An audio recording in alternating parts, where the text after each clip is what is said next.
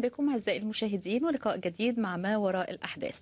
وما زلنا بنكرر الجملة اللي إحنا بنكررها آه، منذ فترة إن ما زالت الأحداث متلاحقة. الأحداث متلاحقة مش بس على مستوى مصر على مستوى سوريا على مستوى ليبيا على مستوى الوطن العربي كله.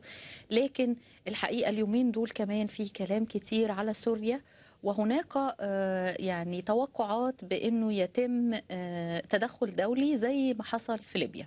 فدي طبعا حاجة الحقيقة يمكن كتير آه، بيستقبلوها في منهم بالاستنكار وفي منهم بالترحاب.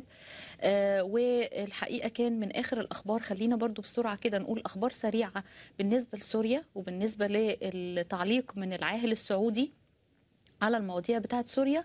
في البداية كده علشان بعد كده ندخل لأخبارنا في مصر لأنه في كتير أخبار كتير جدا جدا على مستوى الشأن القبطي كمان بالتحديد.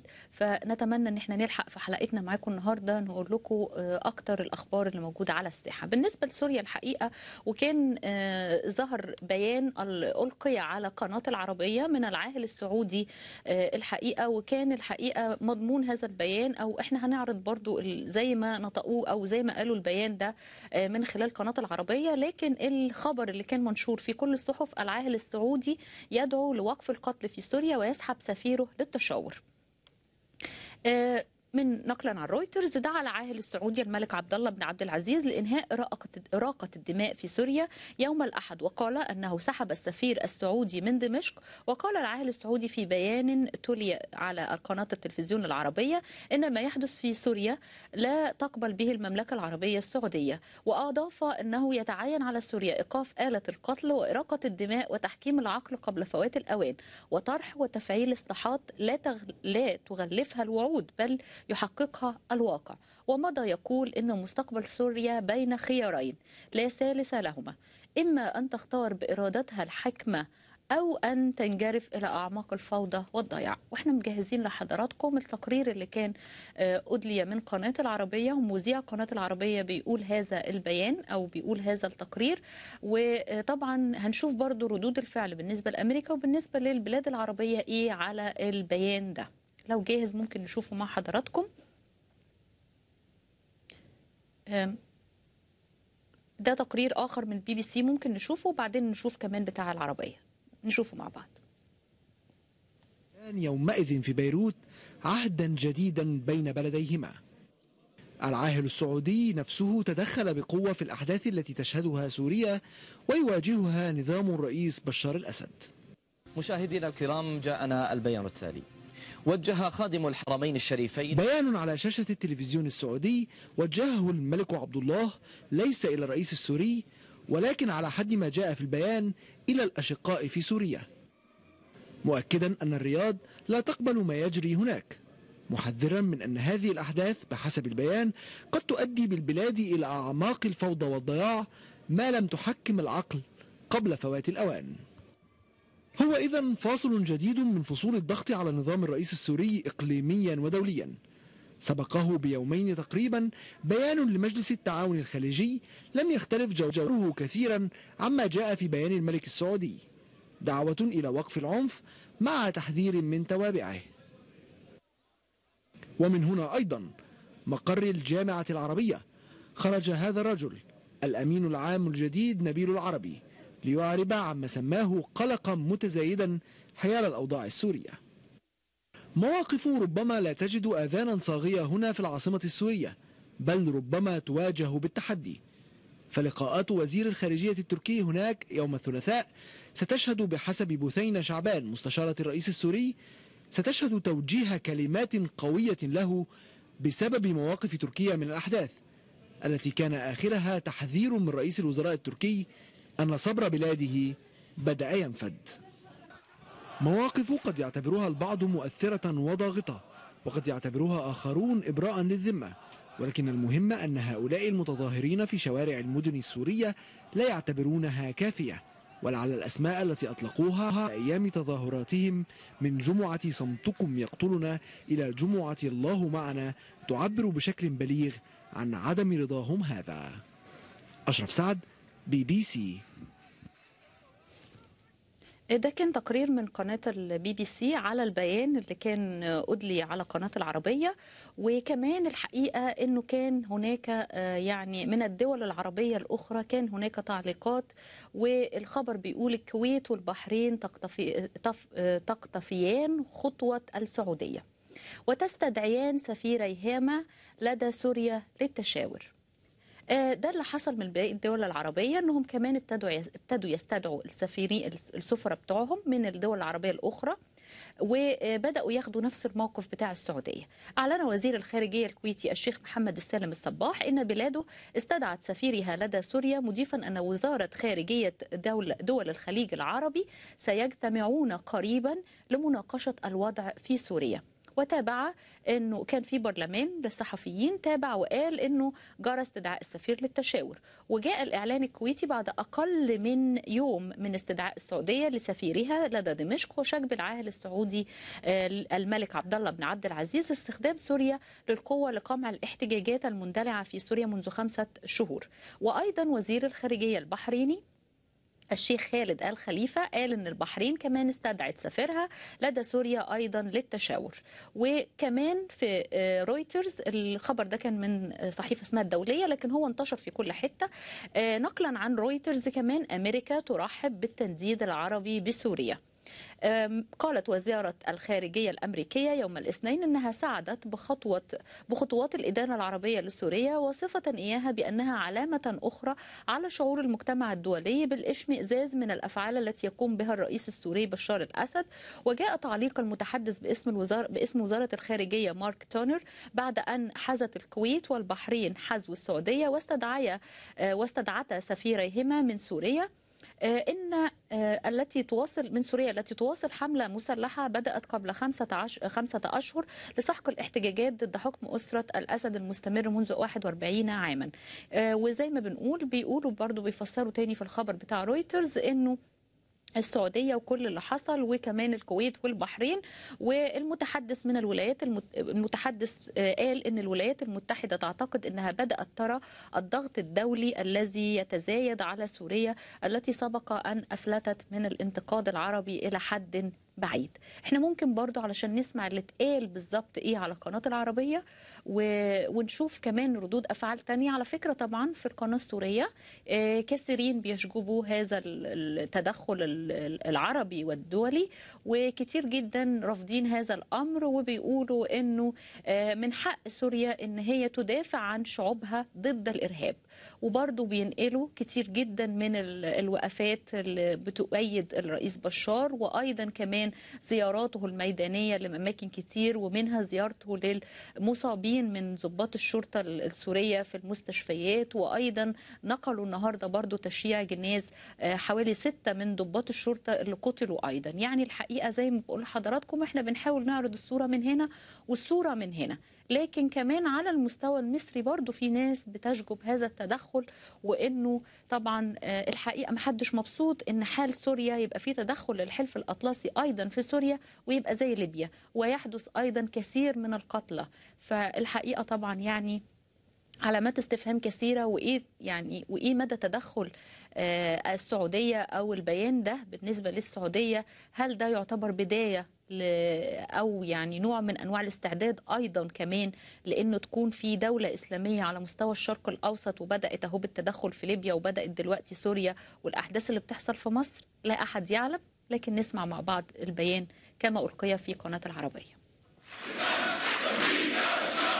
بعد مرور شهر ونصف على إلقائه هذا الخطاب وحديثه عن مسيرة الإصلاح ومشاريعه يعود الرئيس السوري بشار الأسد ليواجه موجة جديدة من الضغط الدبلوماسي الدولي. بعد فترة صمت امتدت منذ خطابه الأخير واستمرت حتى الأسبوع الماضي فيما يمكن تسميتها بفترة اختبار لنوايا الرئيس في تطبيق ما وعد به.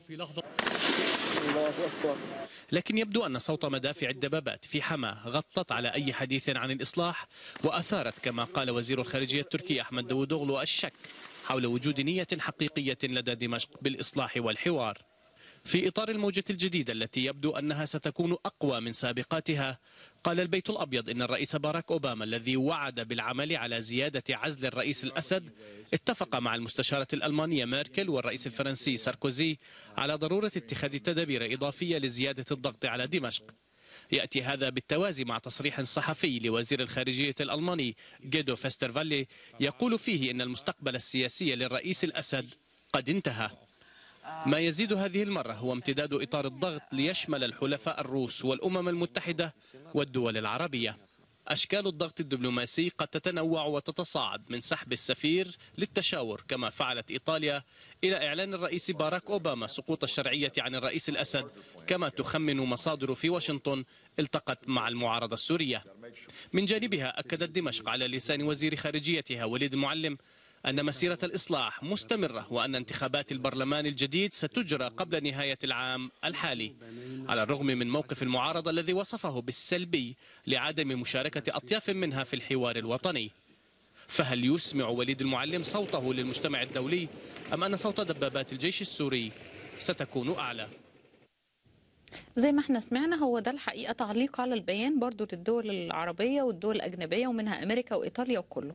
أم، أعتقد أنه يعني ممكن علشان نلحق وقتنا النهاردة هو كان واضح ملخص البيان زي ما قلنا اللي كان ألقي في هذه القناة على لسان العال السعودي آه، أنه هو بيحذر وأنه في نفس الوقت هذا التحذير بيحمل معاني كثيرة. ممكن نحاول نتطرق لتحاليل أخرى وأنا بدعو برضو زي ما قلت أي حد من شعب سوريا الحبيب لو حابب إنه يعلق على الأحداث دي أو لو أي حد ليه تعليق أيضا على التدخل السعودي في الشأن السوري بنرحب بحضراتكم إن أنتوا تكلمونا وتليفوناتنا بتظهر دايما على الشاشة.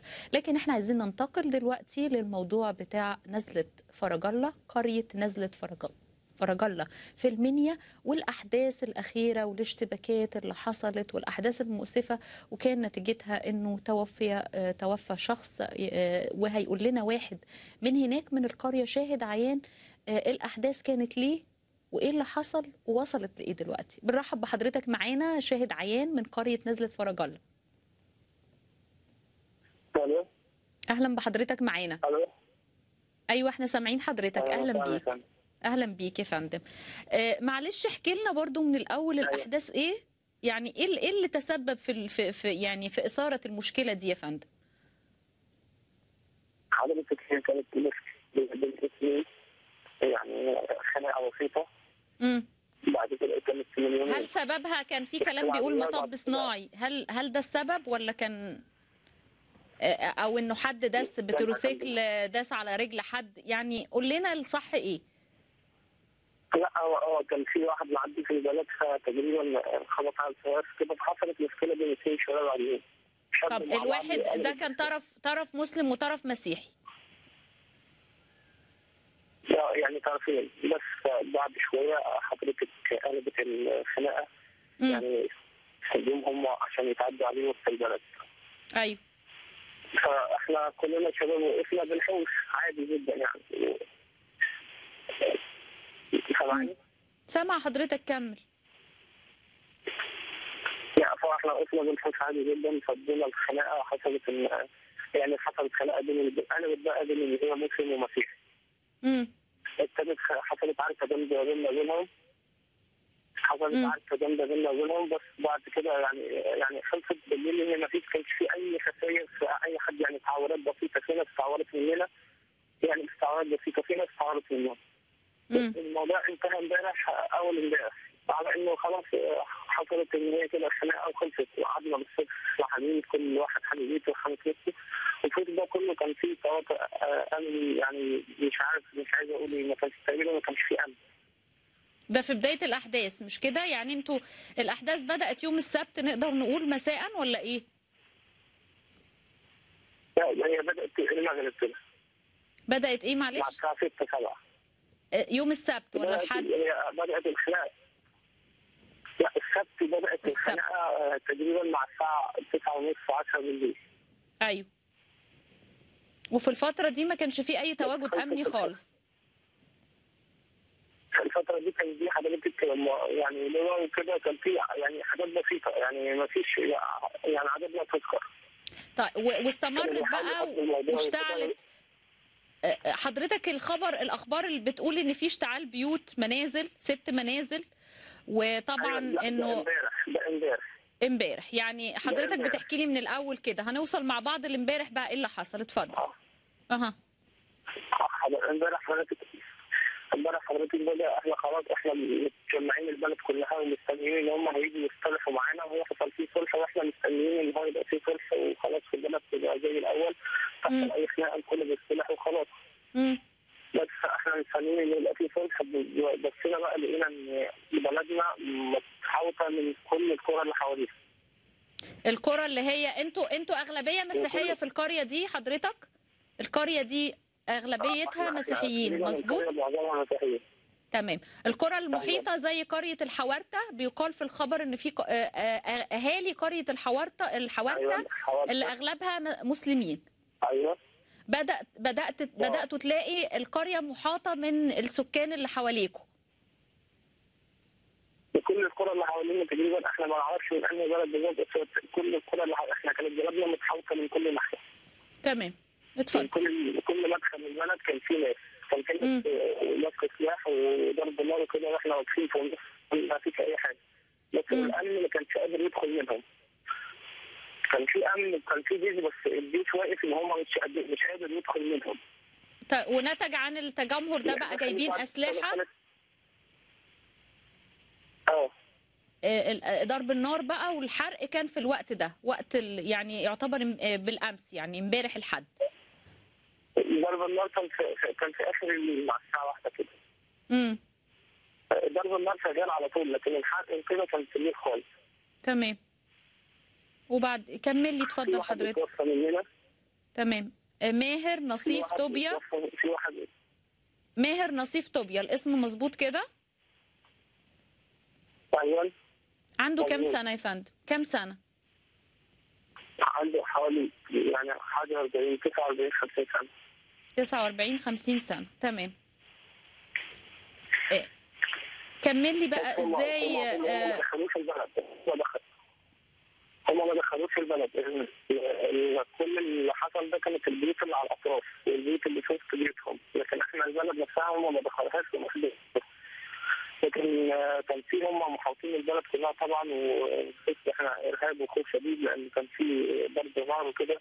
إحنا. كنا كل اللي طالبينه إحنا مش عايزين نتخانق ولا عايزين أي حاجة. إحنا عايزين حد يحمينا حد يقول لنا خلاص أنتوا كده كويسين. حضرتك ما شفتيش حالة الرعب اللي الناس كانت فيها.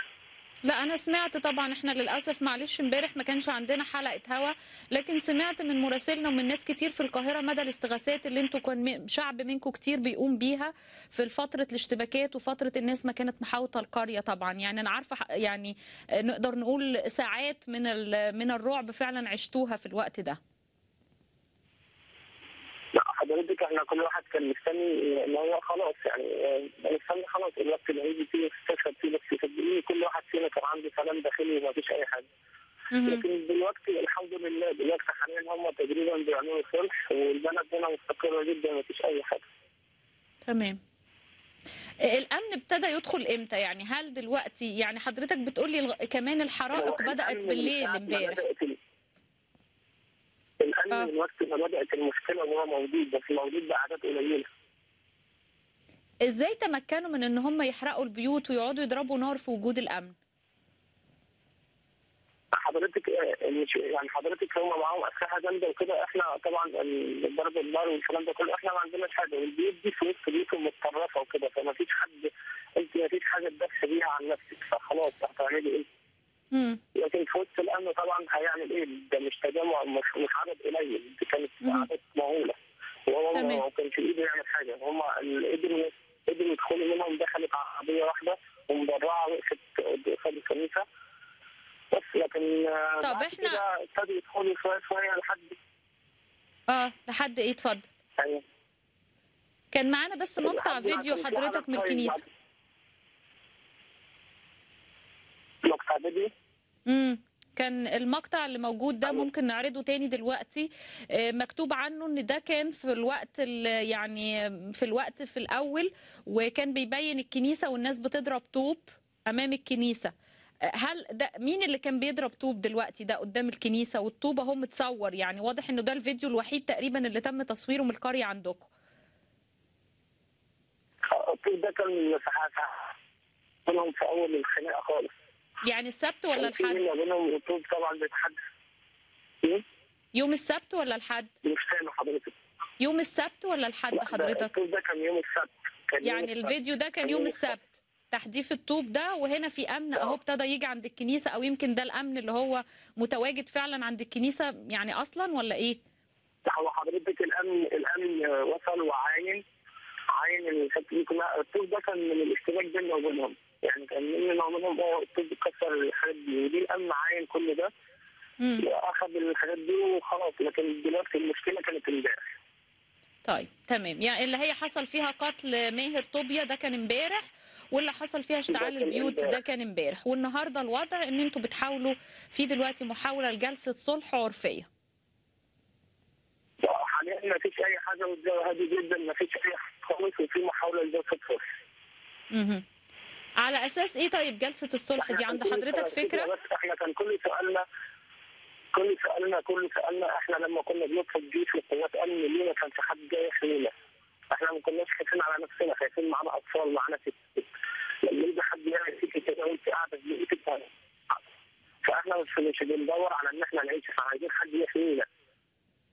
تمام. يعني أنت ملاحظ إنه كان كناش آه، نحارب، بالأمن انه يجي المشكلة هنا حضرتك اللي, نتاخر جه متأخر. يعني هي دي أكتر مشكلة حضرتك عايز آه، نقول نعرضها للمشاهدين وبرضه نقولها للمسؤولين في الشرطة إن ليه الأمن جه متأخر؟ الأمن اللي موجود حضرتك ما كانش جيش.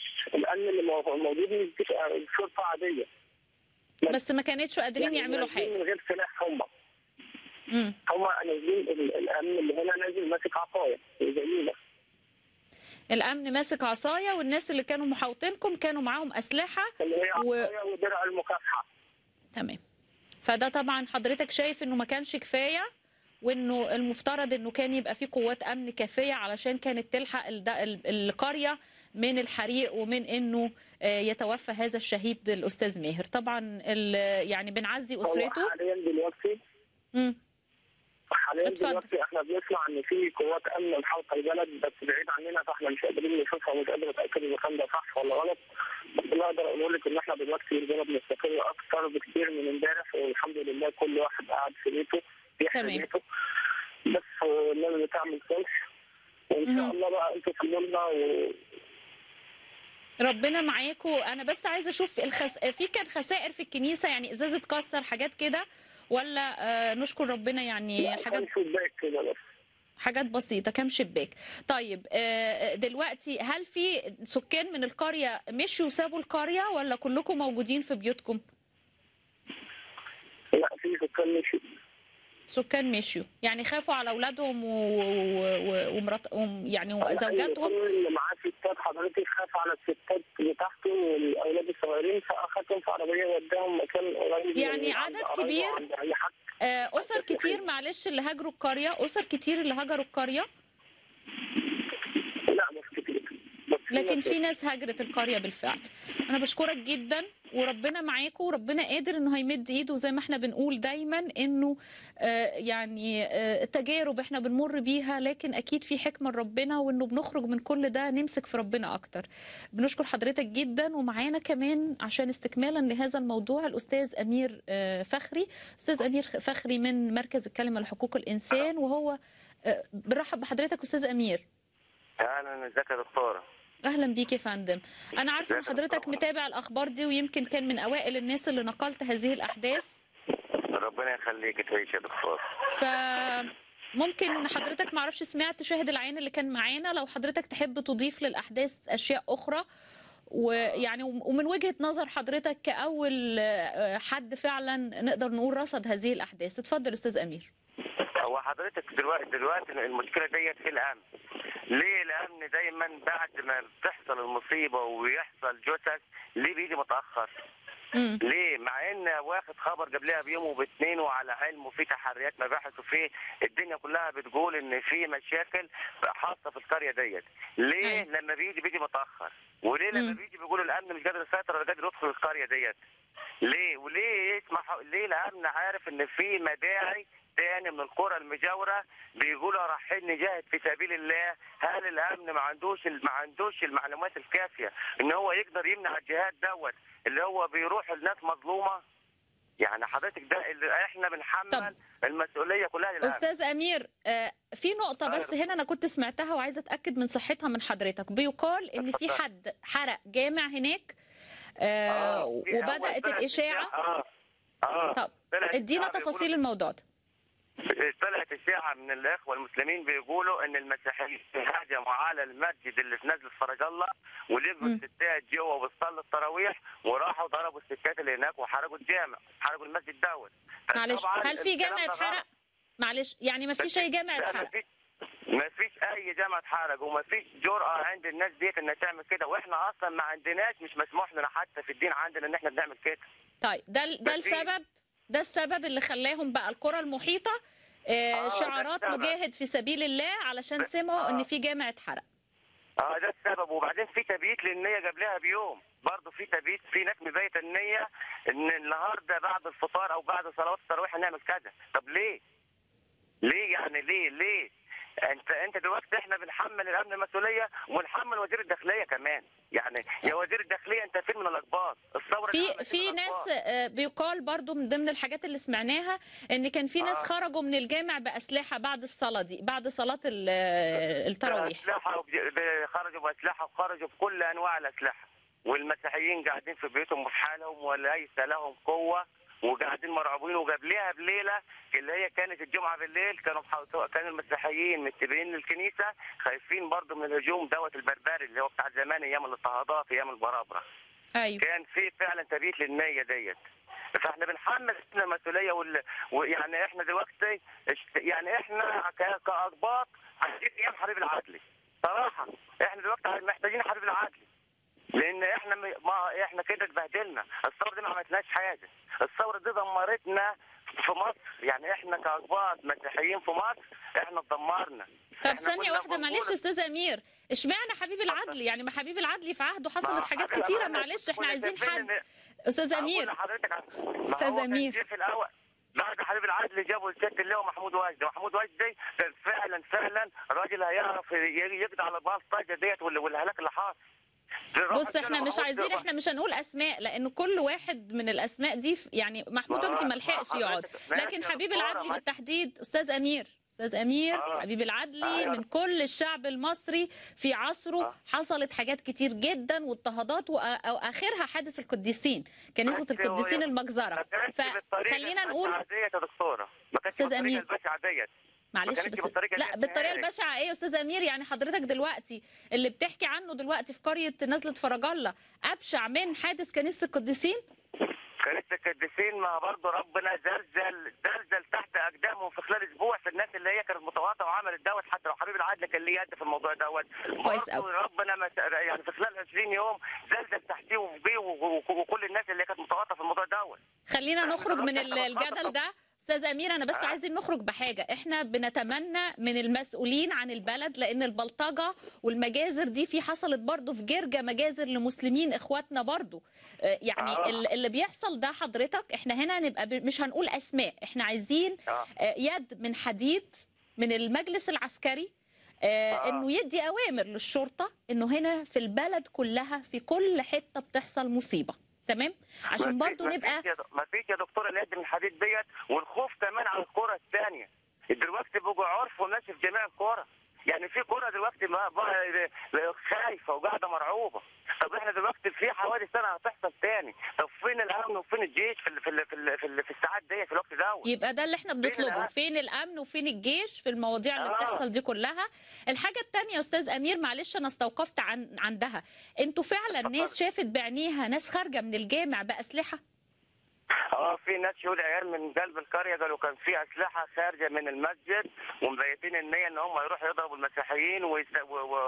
وينهبوهم ينهبوا ممتلكاتهم لدرجة إن هم الكلام ده- كل... الكلام ده قلتوه للأمن يعني دلوقتي. إزاي إن بيت عبادة يعني يبقى خارجين منه بأسلحة يا دكتورة ما هو الأمن برضه يقول لك أنا ما شفتش أنا ما هو لازم الأمن يقول لك أنا ما شفتش. ولكن هي اهالي القرية آه، يعني ناس موثوق منها قالت كان فيها أسلحة وخارجين بها من الجامع نفسه ورايحين وجايين يضربونا طب ليه إحنا عملنا ده كله؟ طب إحنا- طريقة القتل طريقة قتل الأستاذ ماهر بيقال برضو إن هي كانت على طريقة الشريعة الإسلامية معلش هو كان اتذبح ولا طريقة القتل حضرتك كانت إزاي هو في ناس قالت الذبح والناس ديت اللي قالت الذبح على طريقة الشريعة الإسلامية كتير. ولكن أبونا استفانوس لما اتكلم من شوية في تي في قال لا ده اتضرب بطوبة. يعني إيه طوبة؟ أنا مش عارف يعني إيه اتضرب بطوبة. طوبة إزاي جات له في دماغه ومات؟ يعني مش عجب الطوبة جات لي دوت بالذات جوه جوه بيته. وبيقول لك اتضرب جوه بيته. إزاي؟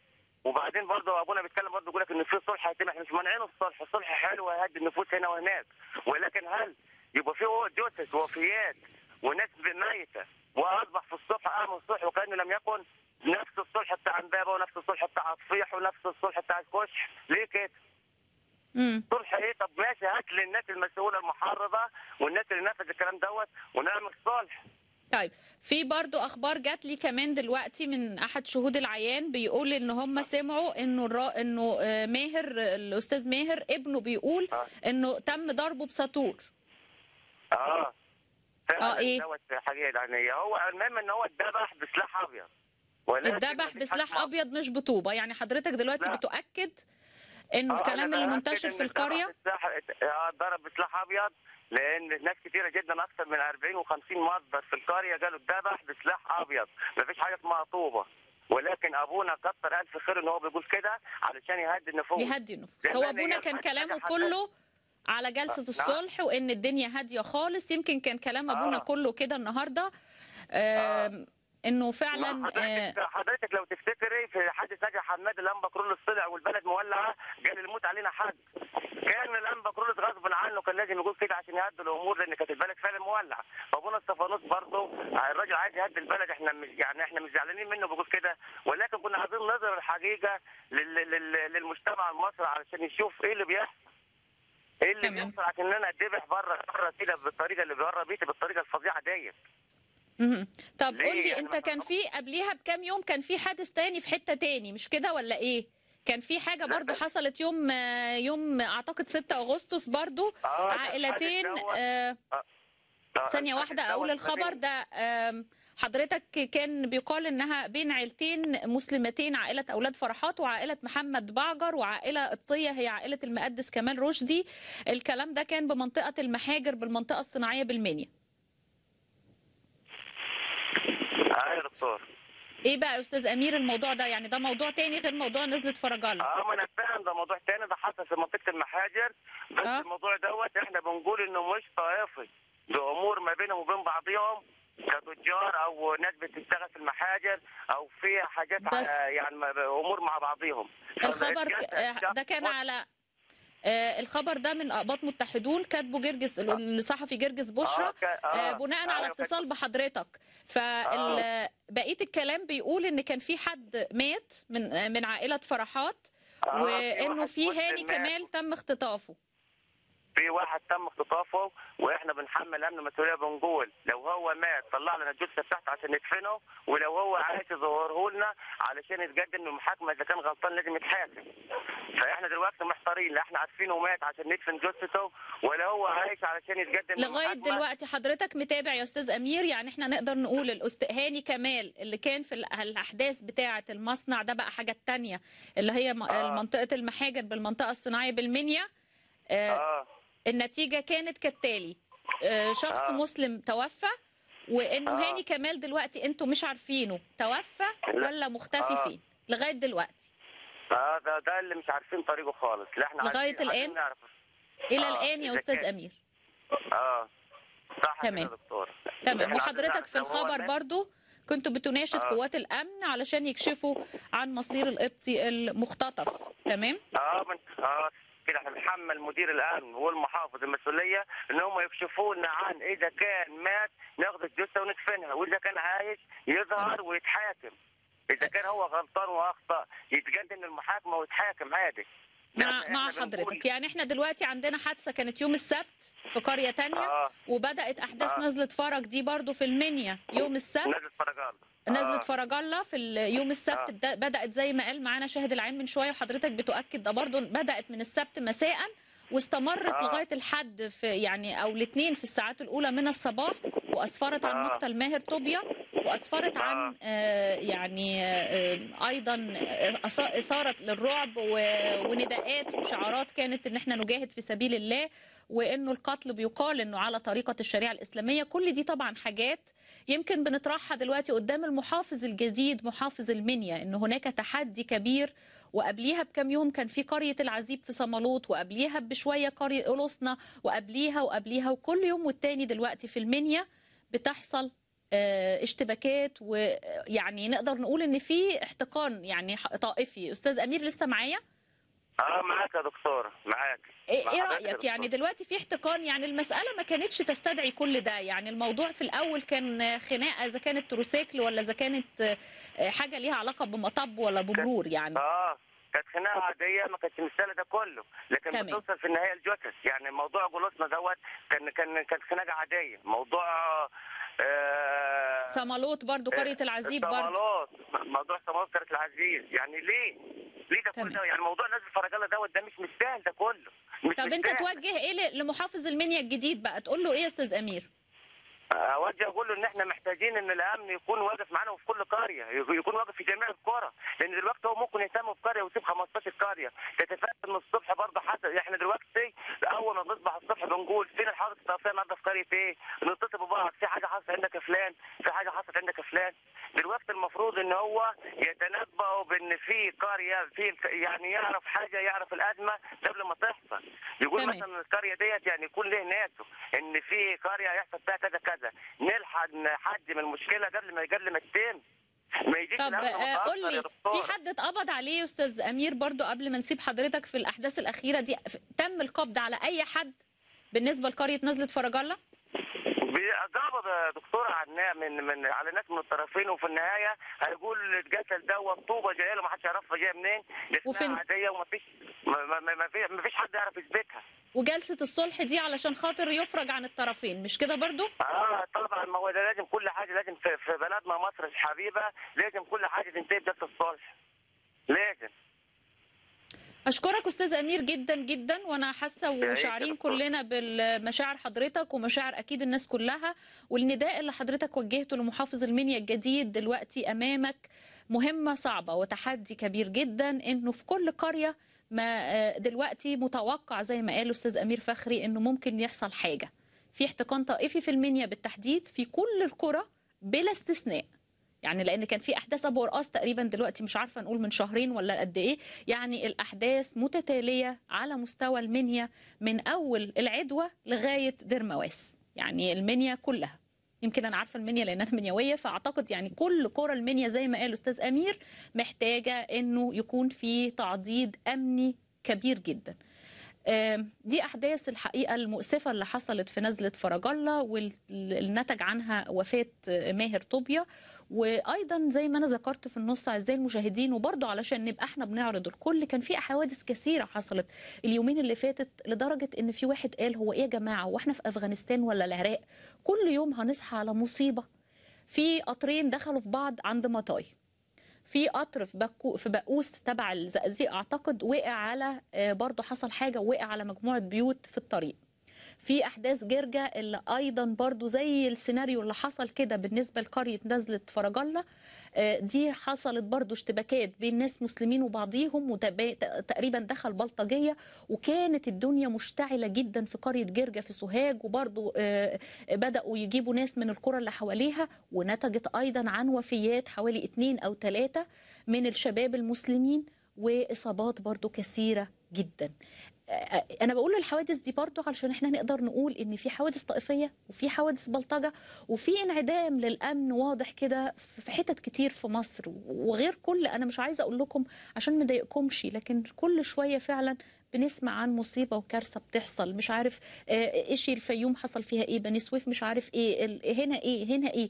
حقيقي بجد اللي بيدخل على الأخبار بالنسبة لأخبار مصر اليومين اللي فاتوا دول سواء شبكة أخبار مصر أو المواقع التانية آه، بتلاقي كل شوية في حادث. فبنناشد الأمن. إنه لازم إنه يحصل تواجد أمني علشان يقدر يتصدى للبلطجية اللي معاهم سلاح أبيض وأسلحة وخرطوش ومولوتوف في الشوارع وفي كل منطقة كل يوم. طبعا إحنا برضو كان من حوالي كام يوم سمعنا عن اللي حصل برضو في الموسكي تقريبا. يعني الحقيقة دلوقتي معدلات ال- الحوادث والإصابات والوفيات آه، أصبحت كبيرة جدا والاحتقان الطائفي متواجد أيضا بشدة وخصوصا في صعيد مصر وبالتحديد المنيا نتمنى أن يكون هناك حلول في هذه الأمور. آه، هننتقل برضو لموضوع تاني ويمكن الموضوع ده الحقيقة هو نداء واستغاثة أيضا من الأستاذ نبيل سند والد مايكل سند. برحب بحضرتك معانا أستاذ نبيل. أهلا وسهلا. أهلا بيك يا فندم. آه، قناة الكرمة وبشكر مدام منى وأحييكم على المجهودات اللي بتقوموا بيها من أجل الدفاع عن الناس المضطهدين والمظلومين. ربنا يخليك يا فندم طمنا على مايكل وإيه آخر الأخبار وأنا عارفة أن حضرتك عندك نداء النهاردة بحجة قوية اتفضل يا أستاذ نبيل بالنسبة لمايكل نبيل سند مم. أهلا وسهلا. أنا بشكر بشكر قناة الكرمة بشكر مدام منى تمام، إحنا- المجهودات اللي بيقوموا بنشكرك جدا. كلمنا إيه إيه- إيه الجديد يا أستاذ نبيل حضرتك؟ بالنسبة لمايكل نبيل سند دلوقتي ال- المجلس العسكري أعلن أكثر من مرة قال إنه المحاكمات العسكرية اللي بتتم. للمدنيين بخصوص البلطجة وبخصوص السرقه ومايكل لا هو بلطجي ولا هو حرامي ده راجل دكتور بيطري وبيدرس دراسات عليا في القانون في القانون بجامعة القاهرة ويرغب العمل في, في العمل السياسي. وكل تمام. مهمته انه هو كتب مقال انتقد فيها بعض آه، التجاوزات اللي حصلت من عناصر بعض من بعض عناصر القوات المسلحة. هو كتبها ولا نقلها لأن أنا كنت كتبها ولا تناقلها هو جمعها هو. جمعها عن عن منظمات حقوقيه وصحفية رفضتها ونزل على النت هو عمل لها تجميع في مقال واحد وقال الجيش والشعب مش إيد واحدة. وبسبب ووضح هذه الانتهاكات اللي هي حصلت بعد ثورة 25 يناير. أي ونتجت عنه محاكمته محاكمه عسكرية محاكمة عسكرية. امم مايكل كان قبل كده وهو رايح ميدان التحرير يوم 4 فبراير حاولت المخابرات العسكرية قبل قبل تنحي الرئيس حاولت المخابرات العسكرية منعه إنه يشترك في إنه يروح الميدان آه، عشان يشترك في المظاهرات. لكنه رفض. فتم آه، القبض عليه وتم تلصيقه من اليدين من الخلف وتم آه، وضع عصابه على عينيه واحضروا سيارة خاصة بالمخابرات العسكرية وتم اخذه في إحدى معسكرات التعذيب التابعة للقوات المسلحة وتم. تعذيبه لمدة 48 ساعة تم ضربه وتم تعذيبه وتم اهانته لمدة 48 ساعة ورأى عدد كبير من الشباب أيضا من شباب الثورة موجودين في هذا المعسكر الذي ذهب الذي أخذوه إليه في مدينة نصر. وفي اليوم. التالي أركبوه عربية سيارة أجرة في اليوم التالي مايكل أركبوه سيارة إجرة معقوب العينين وقالوا للسواق خده في حتة جانبية وارميه على الطريق. وأخذوا البطاقة الرقم القومي الخاصة به حتى لا يستطيع أن يدخل الميدان وأخذوا الموبايل الخاص به. ده الكلام ده حصل قبل ما يتم القبض عليه ومحاكمته يوم عسكريه 4 فبراير ويوم 5 فبراير. تمام. وبعدين؟ قالوا تنحى الرئيس أيوه. وبعد ما تنحى بعد ما تنحى الرئيس مم. تخيل مايكل ان إن مصر استردت حريتها وإن الفساد انتهى وإنه بعض المنظمات الحقوقية آه، آه، نصحوه بأن يتقدم ببلاغ للسيد النائب العام لكي يحقق في واقعة عملية خطفه وتعذيبه بمقر المخابرات العسكرية مم. فتقدم مايكل يوم 22 3 أي ببلاغ للسيد النائب العام. طلب منه التحقيق في واقعة القبض عليه واعتقاله وتعذيبه. فبدلا من قيام النائب السيد النائب العام بالتحقيق في الواقعة صدر قرار من المخابرات العسكرية يوم 25 3 بمراقبة المدونة والفيسبوك الخاص إحنا معانا المدونة والفيسبوك لو ممكن 28. برضو زمايلنا يعرضوا لنا كده مقتطفات منها. يعني آه، هو كان رايح يعني هو اللي راح عمل بلاغ للنائب العام على الأحداث اللي حصلت له 4 هو و5 فبراير ونتج عنها إن هم تمام. آه. هم وتم القبض عليه هو. العام يستدعيهم للتحقيق هم أول ما عرفوا انه اشتكاهم للنائب العام خدوا قرار إنهم هم يرفضوا المدونة والموقع بتاعه. تمام. فلقوا المقال ده فخدوه حجة ويوم 28 3 راحوا قبضوا عليه من منزله وهو في منزلة. تمام. آه، يوم 25 3 يوم يوم 28 3 28 3. بعد الظهر. لا. آه، راح المخابرات العسكرية والشرطه العسكرية تم القبض عليه حضرتك. النهارده بتوجه نداء لمين برضو أستاذ نبيل؟ إن حضرتك آه، يعني شايف إيه اللي بيحصل دلوقتي ولغاية دلوقتي هو محبوس وعايز تقول إيه؟ آه، يعني توجه النداء لمين من المسؤولين دلوقتي؟ مايكل آه، خد حكم ثلاث سنين ثلاث سنين مع الشغل وهو حاليا مسجون في سجن المرج. مايكل يع- يعاني من اضطرابات القلب وإنه حالته الصحية لا تسمح وإنه الظروف المعيشية في ال- في السجن طبعا صعبة جدا وخطر أكيد. على حالته الصحية طلبنا. أكثر من مرة بعرضه على المستشفى واللي عمل فحوص طبية لأنه يعاني من اضطرابات في القلب ولكن دون جدوى وإنه مايكل بيعاني في السجن أيضا إنه الزيارات للمسجونين في السجن هناك كلها أربع زيارات في الشهر. مايكل الوحيد اللي هو عاملين له زيارة مرتين في الشهر. كانت أربع وتم تخفيضها إلى اثنين سألنا إيه السبب؟ قالوا ما قالوا من غير سبب. تعليمات. جاية تعليمات. طيب.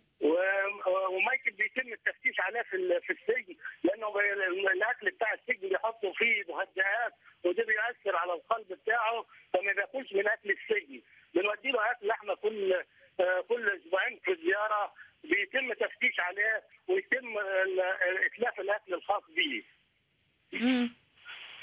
تمام. طب تم آه، الطعن على الحكم ال- تم الطعن على الحكم الصادر من المحكمة العسكرية آه، عن طريق الأستاذ نجاد البرعي رئيس رئيس ال- المكتب المصري للمحاماة والأستاذ ماجد حنا وتم. الطعن على الحكم.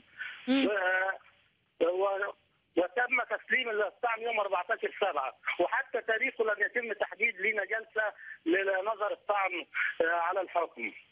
لغاية النهارده حضرتك ما فيش أي تعيين آه، ميعاد للطعن للنظر في الطعن ده؟ لا هم على بيماطلوا وعشان نسلم الطعن عذبوا المحامين علشان يسلم الطعن. الورقه. اللي هو مضى عليها الاختار بال- بالحكم قعدت شهر آه، كامل يقولوا ما وصلتش المحكمة العسكرية ولازم عشان يستلم الطعن لازم الورقه الاختار دي يكون وصل. وقعد من إدارة السجون للمحكمة العسكرية في نفس المدينة وصل قعد شهر كامل.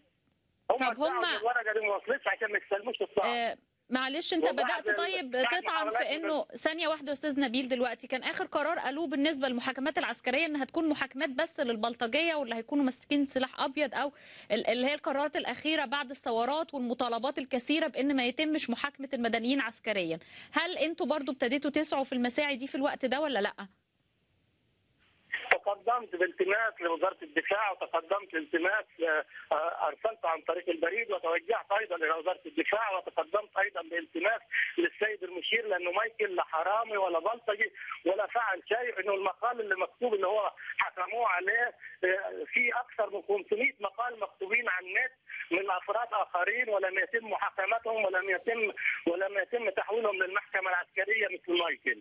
وأعتقد في ظل الأوضاع يعني الأخيرة دي برضو كان في حتى ناس كتير واقفين في الشوارع بتهتف ضد المجلس وضد المشير يعني المفترض انه دلوقتي الكل يعمل بالعدل زي ما هو مايكل دلوقتي كان محاكمته عسكريا علشان كان في المدونة بتاعته جمع شوية أخبار وحاجات آه، كانت انتهاكات للشرطة في للجيش وبدأ يتكلم عن انه الشعب والجيش مش إيد واحدة. أعتقد في ناس كتير اليومين دول دي يمكن تكون حجة قوية يا أستاذ نبيل إن أنتوا تبتدوا دلوقتي تعملوا مساعي كبيرة جدا إنه آه، هل هتقبضوا على كل الناس اللي كانوا واقفين في الشوارع الفترة اللي فاتت؟ هل ال- اللي بيحصل دلوقتي برضو من نداءات وهتافات وحاجات كتير برضو على النت زي ما حضرتك بتقول هل كل دول هيتم القبض عليهم ومحاكمتهم عسكريا زي نبيل سند؟ زي مايكل؟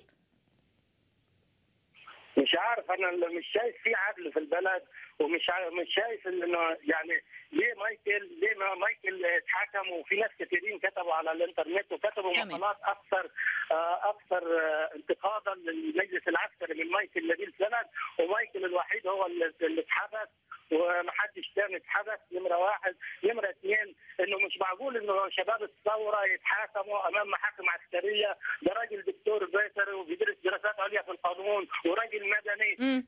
ومن شباب الثوره وليه يتحكم محاكمه عسكريه واللي قتلوا المتظاهرين واللي خربوا البلد واللي عملوا الانفلات الامني دي حكمات مدنيه، ليه مايكل ما كانش هم لو عايزين يحاكموه هو هو المفروض ما يتحكمش لأنه حريه الراي وحريه الفكر مكفوله طبقا للقانون والدستور بالظبط. والمواثيق الدوليه وهم بالظبط. فاهمين هذا كويس، ليه يعني مايكل يتحاكم محاكمه عسكريه والناس اللي هم خربوا البلد وقتلوا المتظاهرين قتلوا بال- بالالاف يتحاكموا محاكمات مدنيه، أنا مش عارف هل هذا من العدل؟ هل هذا تمام. شايفين هم من العدل ولا ولا الظلم؟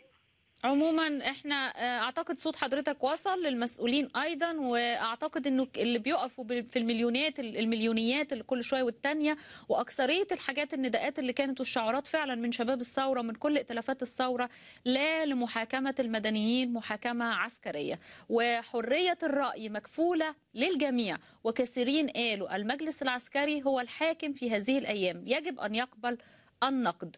فأعتقد بإذن ربنا يعني إن إحنا آه، يعني نفسنا إنه فعلا يصدر قرار بالإفراج عن مايكل نبيل سند زي ما صدرت قرارات برضو مشابهة في الفترة الأخيرة ونتمنى إن المجلس العسكري آه، نقدر نقول يعني آه، يفاجئنا بمفاجأة زي كده وهتكون أكيد مفاجأة سعيدة. بنشكرك جدا أستاذ نبيل وصوت حضرتك وصل ويمكن بنقول دي أصوات كثيرة بتعلو هذه الأيام ونداءات نداءات كثيرة أعتقد ان كل ده موجه للمجلس العسكري. نتمنى إنه طبعا كل ده ينظر ليه بعين الرأفة والحكمة آه، وأيضا بالعين الجديدة بعد الثورة.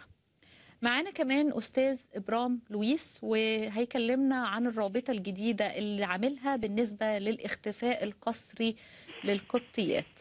بنرحب بحضرتك أستاذ إبرام لويس. أهلا بحضرتك يا دكتورة منى. أهلا بيك أستاذ إبراهيم. أنا عارفة إن أنتوا بتعملوا مساعي كثيرة جدا هذه الأيام علشان موضوع الفتيات القبطيات اللي إحنا كل يوم والتاني بنسمع عن اختفاء.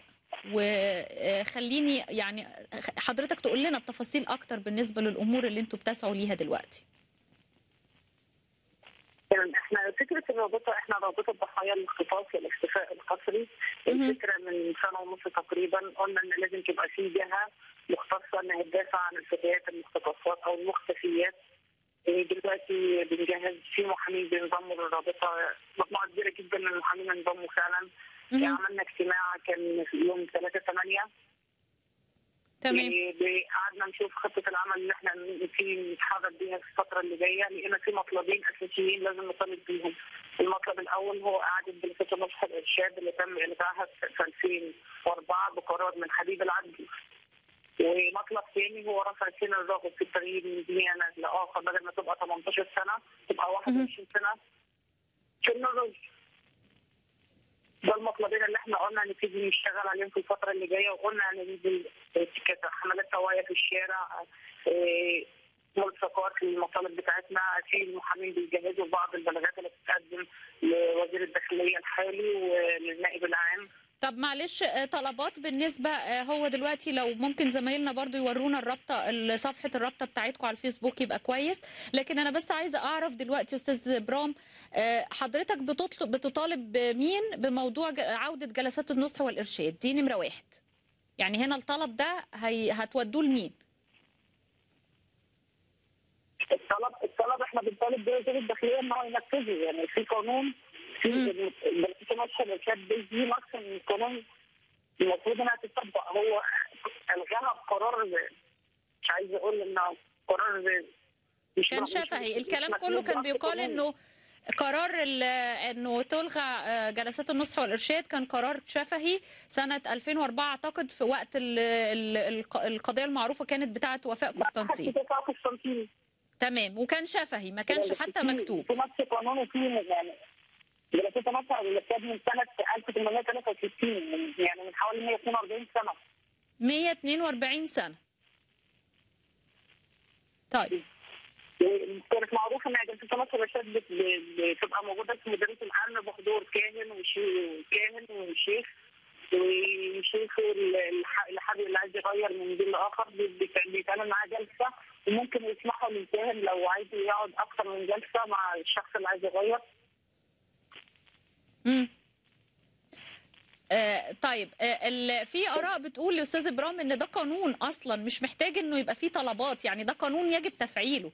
يعني وكونه إنه توقف بطلب شفهي. القانون مش مفعل إحنا بنطالب بتفعيله. بالظبط. يعني القانون آه. القانون مش مفعل يعني إن ده قانون المفروض إنه يطبق ويفعل.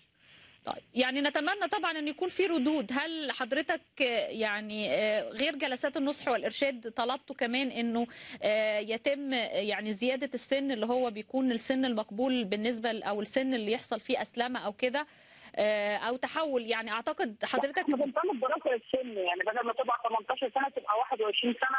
سن رد يعني يعني بس انت- بتقول يعني دلوقتي لو أنا عندي لو أنا. معاك يا دكتورة.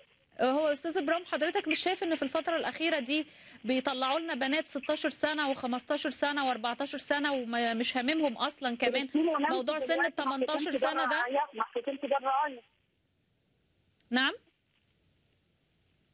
أيوه دكتورة معاكي. بقول لك كريستين ونانسي اللي هم 14 و16 سنة مرمين في الرعايه دلوقتي المفروض إن هم يسلموا لأهلهم.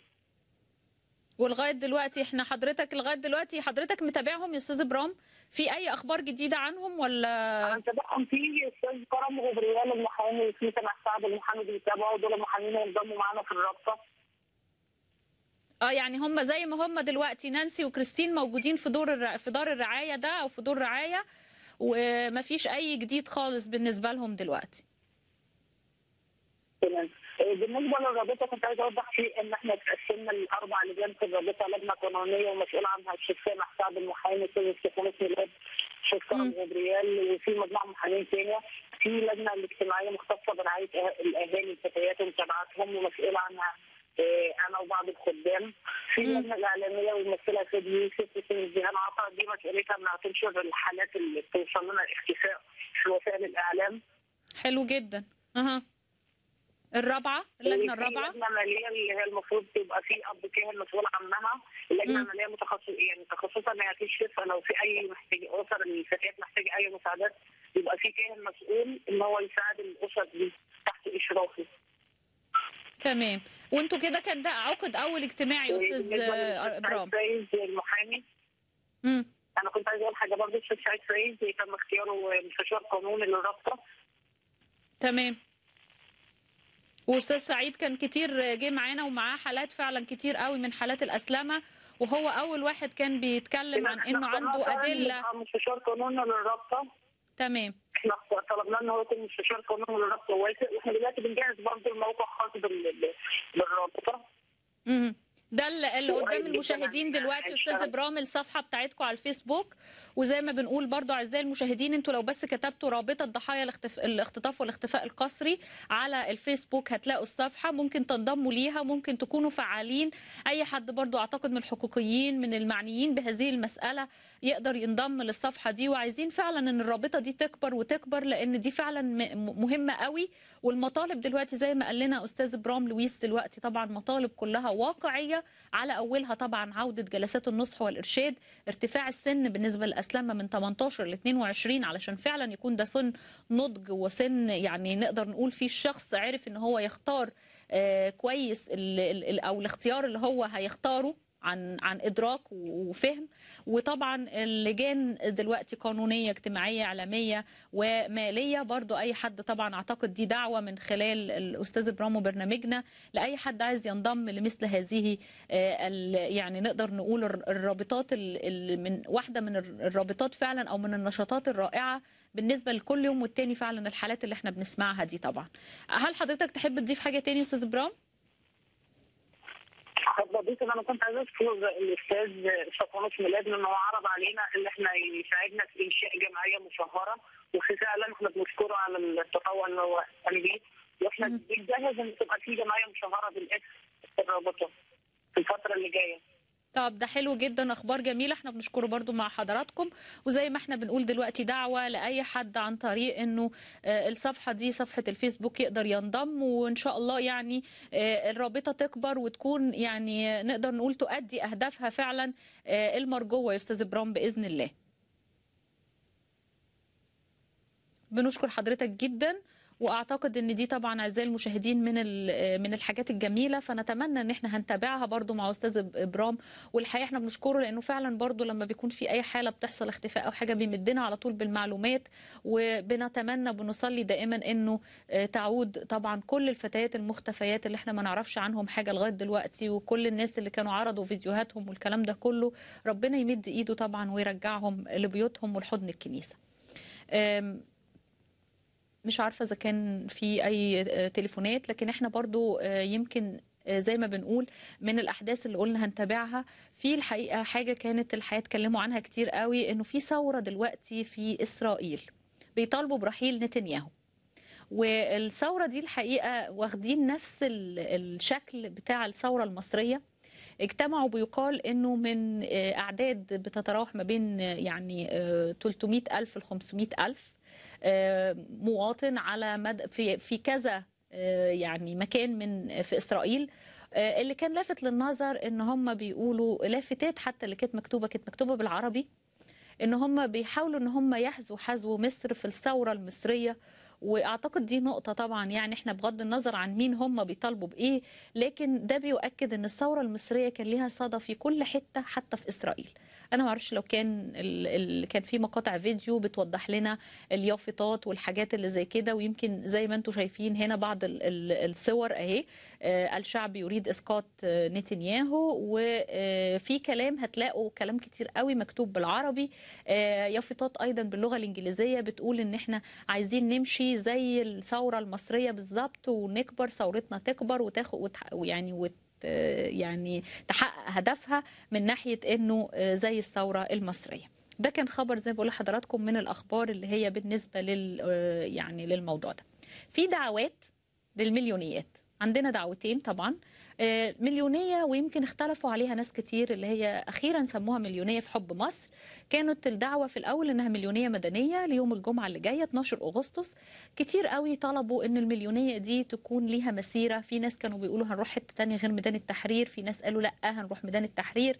في ناس قالوا هنشترك في ناس قالوا مش هنشترك. في النهاية طبعا هذه الدعوة لهذه المليونية آه، بدأت على صفحات كتيرة.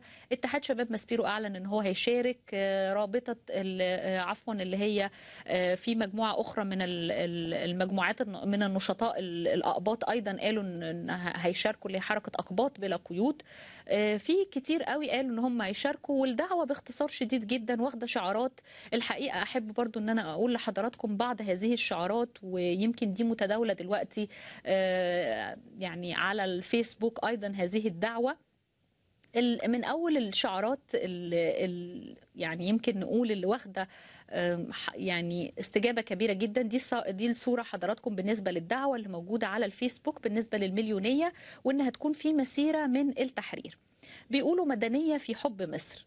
آه، بيدعوا لها كتير جدا إنه المليونية دي تكون مليونية الدولة المدنية وإنها تكون في حب مصر. وبيقولوا إن إحنا عايزين نكون كلنا واحد إيد واحدة علشان خاطر آه، نأكد على مدنية الدولة المصرية. ومن الشعارات زي ما بقول لحضراتكم اللي كانت بتثار في الفترة الأخيرة الديمقراطية ليست قانون الأغلبية بل حماية الأقلية. الحرية لا يمكن أن تعطى على جرعات فالمرء إما أن يكون حرا أو لا يكون حرا ودي المقولة الشهيرة نيلسون مانديلا.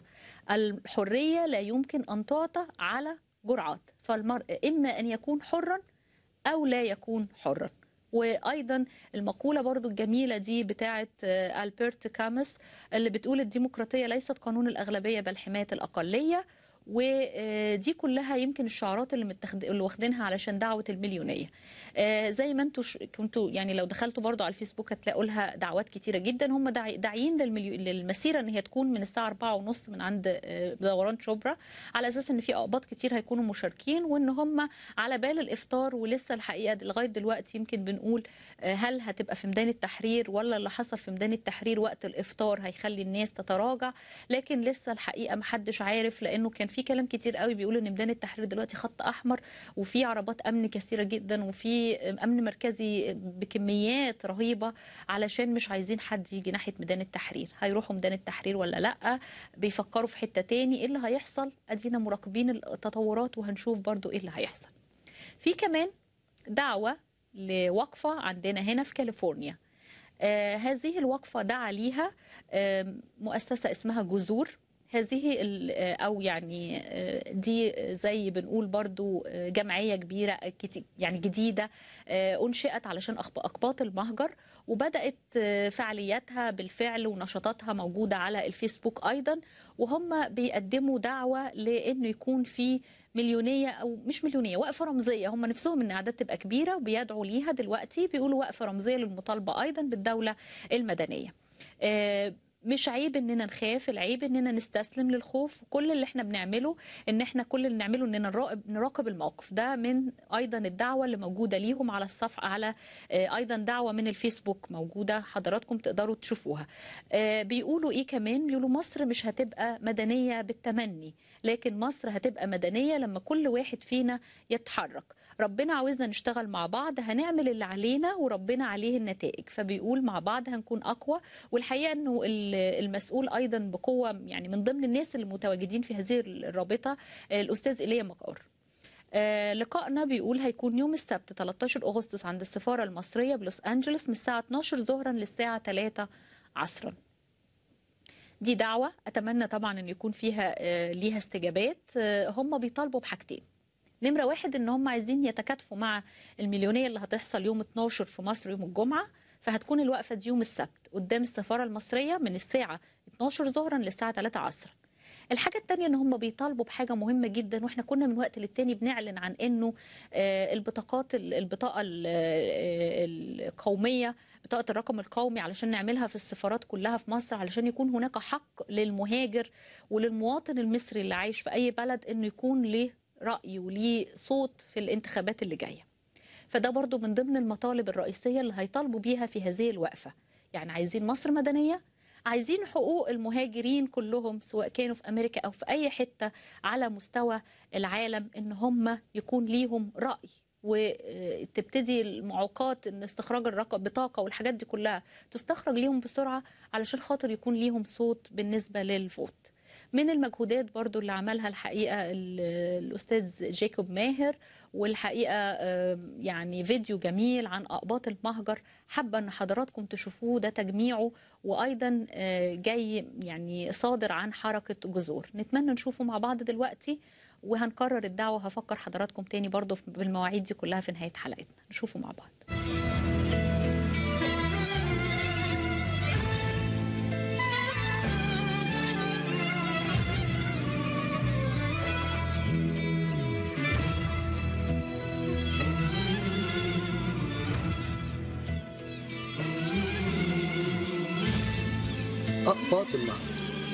عدو خيالي خلقه الإعلام المصري. في اتهام لهم إن هم آه، بيستعدوا الدول الأجنبية على مصر أو بيستقوا بالخارج وان هم بيحرضوا أو لهم دور تحريضي يعني يعني عند مجموعة من الأقباط هنا إن هم يستعدوا زي ما بيقولوا الدول ال- الغربية. اتهمونا بالخيانة اتهمونا بالعمالة اتهمونا بإثارة الفتنة لأنهم مش عاوزين يشوفوا الحقيقة. إن الخاين هو اللي بيقتل شركاء الوطن بس علشان دينهم مختلف. العميل هو اللي بيتهم أيادي خارجية وإيديه هو اللي ملطخة بدم الأباط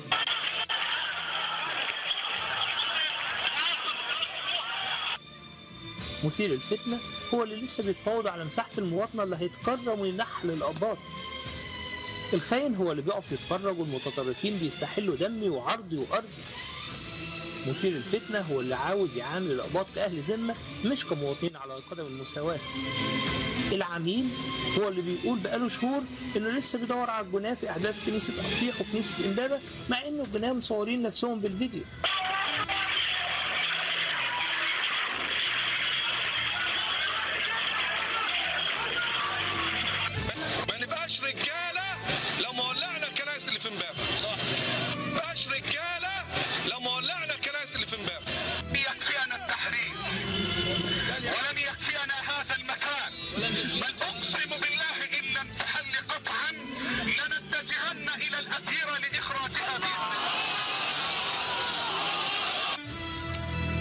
المهجر مش مخلوقات فضائية مخيفة. ولا ناس سابوا مصر ونسيوها. أقباط المهجر هم عمي وأخويا وخالي وصاحبي. أقباط المهجر جيل ورا جيل.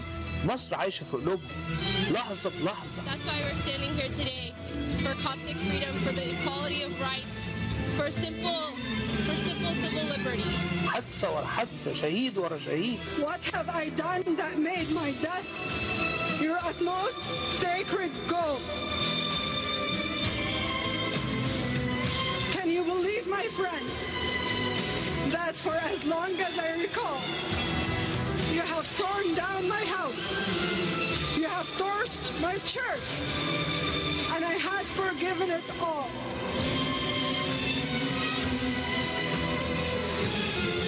Until when? Tell me, until when will your satisfaction remain in my distress, in my anguish, in my suffering and pain? دم اخواتنا هيقربنا من بعض اكتر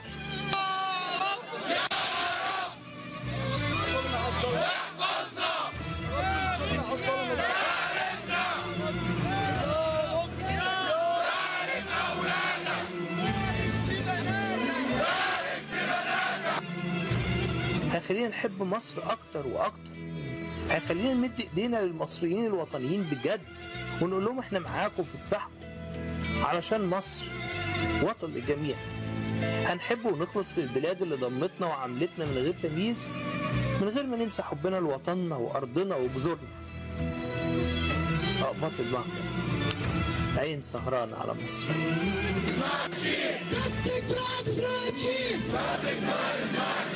Save Christian Egypt! Save Christian Egypt!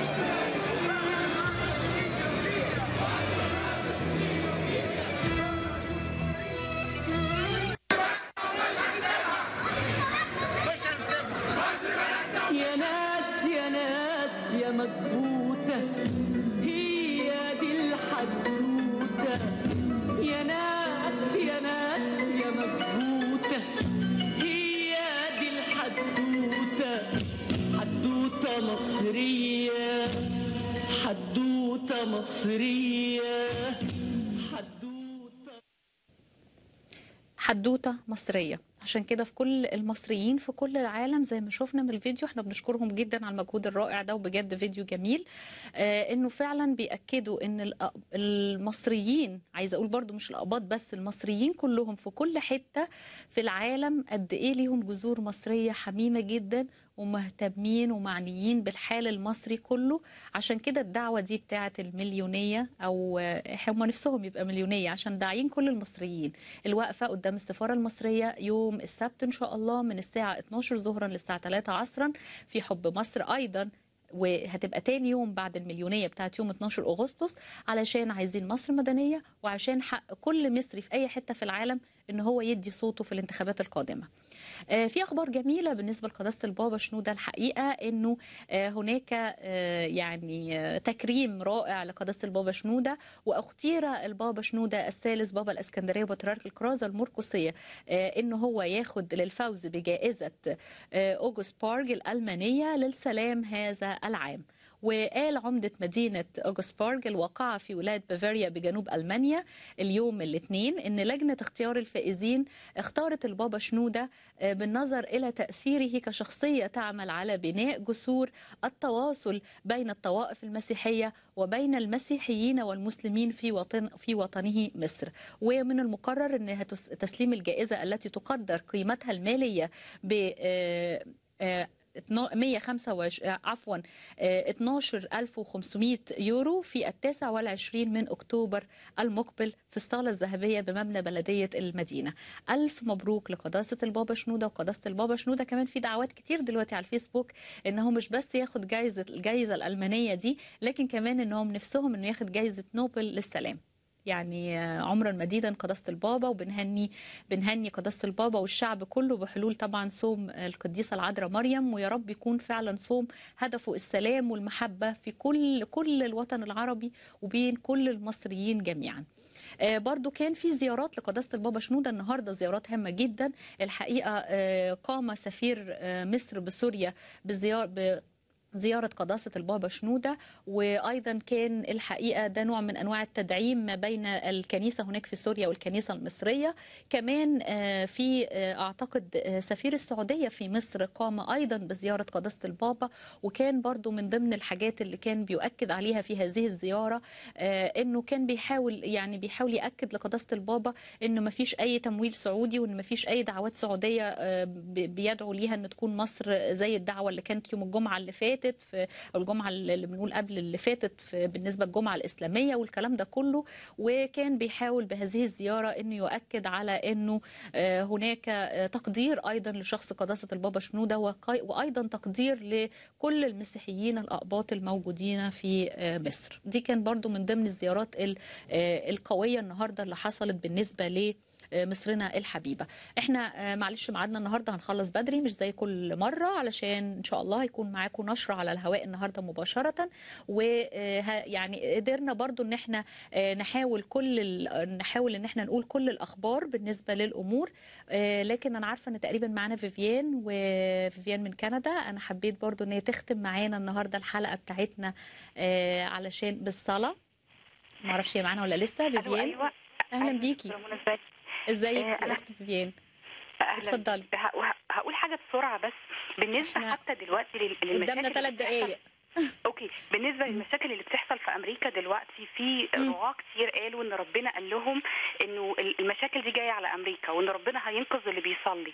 فزي ما بيحصل في أمريكا زي ما بيحصل في مصر زي ما بيحصل في كل مكان في العالم اللي هيصلي ربنا هينجيه. ده بس اللي عايزة أقوله. نبدأ بالصلاة إحنا وكل اللي عايزين بس في دقيقة واحدة لأن فعلا دلوقتي قالوا لي مش ثلاثة إحنا دلوقتي قدامنا كمان دلوقتي دقيقة واحدة. Okay. Okay كل اللي. بيتفرج معانا يا جماعة نصلي يا رب بنشكرك بنشكرك وبنعظم اسمك لأنك إله رائع- يا رب بنصلي. وعارفين إنه صلاتنا مسموعة قدامك لأن جايين في شخص ابنك الحبيب السيد المسيح. بنصلي لأجل كل بنت يا رب مش عارفين مكانها بنغطيهم بدمك في أي مكان هم موجودين فيه. بنطلب يا رب راحة ومعونة وسلام ليهم يا رب وتحط من من مجدك يا رب ومن هيبتك عليهم وعلى مايكل وعلى كل وجرجس وكل المعتقلين. بنصلي يا رب بنحط دمك دمك دمك على أعتابنا وعلى كل شخص دعي عليه اسمك وعلى كل مكان دعي عليه اسمك في مصر بنتكلم سلام وبركة ومعونة وخير لكل شعب مصر مبارك شعب مصر وبنتكلم خراب على مشورة كل الأشرار في مصر. انت قادر انك تقسمهم انت قادر انه القادر ال- انت انت وحدك اللي قادر ان اللي سالك يا رب بكبرياء انت قادر انك تذله يا رب. وتعمل انت سلام وخير وبركة لشعب مصر. في اسم الرب يسوع لاجل خاطر جميع مصاف قدسيك وشهدائك وأولهم الست العذراء كن معانا يا رب وبنشكرك لاستجابتك لصلاتنا يا رب دايما آمين. آمين. أمين بنشكرك جدا أستاذة فيفيان ونقول خير ختام. فعلا ان إحنا نختم حلقتنا بالصلاة وزي ما قلنا بندعو الكل للصلاة من أجل كل الأحداث اللي بتحصل في مصر اليومين اللي فاتوا والأحداث اللي جاية كلها. ويعني واثقين إن ربنا هو اللي إيده ورا كل هذه الأحداث. ودايما زي ما بنقول بنحاول إن إحنا نعرض كل الأخبار لكن بنحاول نعرض لحضراتكم برضو على حسب وقتنا أهم أخبار. انتظرونا وحلقتنا هتكون ميعادنا إن شاء الله في يوم الأربعاء القادم. بإذن الله في ميعادنا هيكون الساعة التاسعة مساء. بتوقيت القاهرة الثانية عشر ظهرا بتوقيت كاليفورنيا 3 عصرا بتوقيت نيويورك وكندا. انتظرونا وكل ما هو جديد وما وراء الأحداث.